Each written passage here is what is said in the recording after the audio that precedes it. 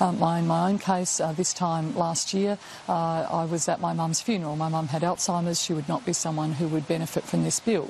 Uh, but my family and I and my sisters, we had a, a week where I was in recess from here, uh, where I lay on the floor of her nursing home listening to her die for seven days. Um, that is a horrible experience, I think, for her. I, I know her.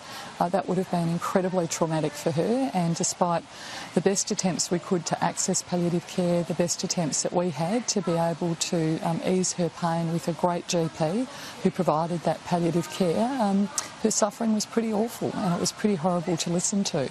And when you hear people uh, tell those stories and you think of you know what is actually happening for families in, in that space uh, and for people like myself, I think we do need another pathway. It's the most compassionate thing we could do uh, as a society.